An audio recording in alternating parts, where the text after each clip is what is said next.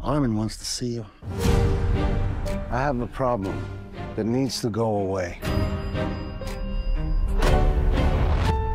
Her name is Phyllis. I knew he'd turn on me. Armin hired you to kill me, right? You know I don't do that type of thing. You know I never take no for an answer.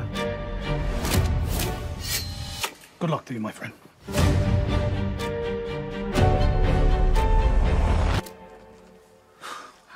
You can't do it, can you?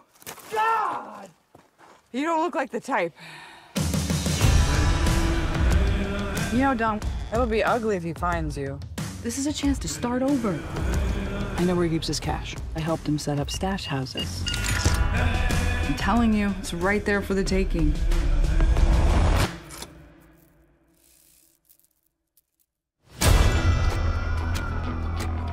Where are you gonna go with the money? Lake George. I used to take the family there. I don't get you. How does a guy like you end up with Armin? I got in over my head, trusting someone I didn't know very well. You're a good guy, Don. You can trust me. I'm a good person, too.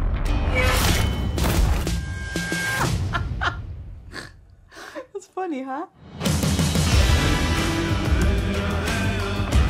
A tough world.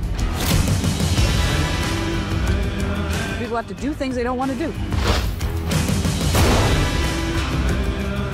Don, we gotta go.